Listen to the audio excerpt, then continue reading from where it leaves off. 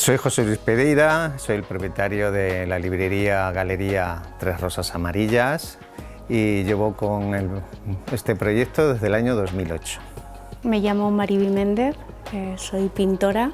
Me llamo Emilia Dimitrova y soy artesana, eh, decoradora de telas y hago eso justo 20 años. Mi nombre es Laura y soy de aquí de Madrid Hola, yo soy Esteban, soy originalmente de Argentina. Soy Olga Aro, de Ada Aro, eh, diseñadora en telas y llevo 10 años dedicándome a esto. Como la librería empezó y, se especializó en, libros en pop-up tridimensionales de sombras. Muchos de los libros que hacemos nosotros también son pop-up, como veis, como las tarjetas, como todo el mundo de los móviles y en eso consiste toda la labor de artesana que, que desarrollo con, manipulando eso, papel y cartón. Necesité reinventarme y trasladar la pintura a diferentes prendas, a diferentes soportes, todo lo que se me ponía por delante y que me decía, Maribí, ¿podrías arreglarse? O sea, todo se puede arreglar con la pintura. Antes era una tienda taller y ahora es un taller donde desarrollo mi actividad y también recibo a personas.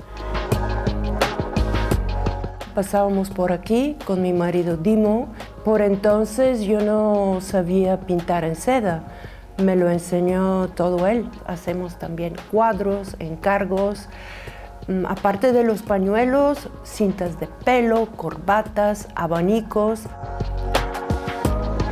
Estamos desarrollando nuestra propia marca artesanal, nosotros diseñamos, producimos eh, realmente lo que nos gusta. Trabajamos aquí en vivo y luego tenemos el showroom que también se pueden ver todos nuestros productos. Siempre tenemos cosas en proceso, fabricamos series, eh, o sea, varios modelos a la vez en pequeñas series. Bueno, esto es un taller, no lo abro como tienda, a lo largo de los años la gente me va conociendo, también por la página web y tal. En verano, zapatillas. Las zapatillas pintadas o las alpargatas, eso mogollón. Por ejemplo, ahora las tote bag estas, que están como súper de moda, pues esas además me las cose mi madre a mano, la pobre, la tengo explotada. Y luego ya te digo, pues eh, cazadoras, abanicos en verano también. Es nuestro propio taller. Es decir, una vez que el cliente se va, nos volvemos a nuestro mostrador ahí detrás y empezamos con nuestros papelitos, pues eso, a doblarlos, a pegarlos, a diseñarlos, a montarlos.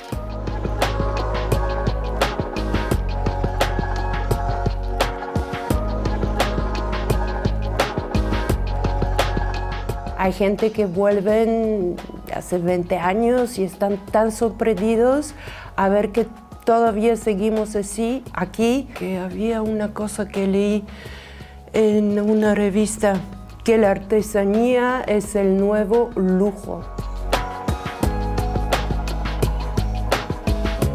Una vez que ya conectas con esas personas que valoran esa, que esa prenda que tienen, que ese cuadro que tienen, que ese eh, abanico con el que se dan aire solo lo tienen ellas en el mundo y que las hace sentir especiales y diferentes como somos realmente cada uno, pues esa clienta ya pues te sigue y te visita la feria de Semana Santa, la feria de primavera, verano que se va a hacer celebrar ahora, después viene la de otoño y, y luego la de Navidad que es la feria más larga que hacemos.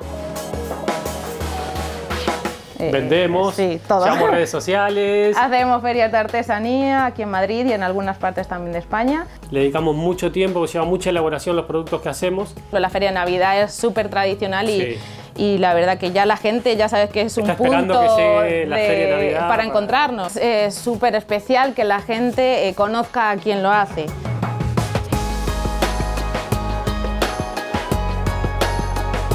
Sí, sí, sí, sí. Voy a ir la primera vez a la Feria de Recoletos de Artesanía, que tengo un mogollón de ganas. O sea, yo creo que es un trabajo súper guay en el sentido que todo el rato te están diciendo ¡ay, qué bonito, qué chulo, qué tal! A mí me gusta mucho, que es como muy, muy agradecido.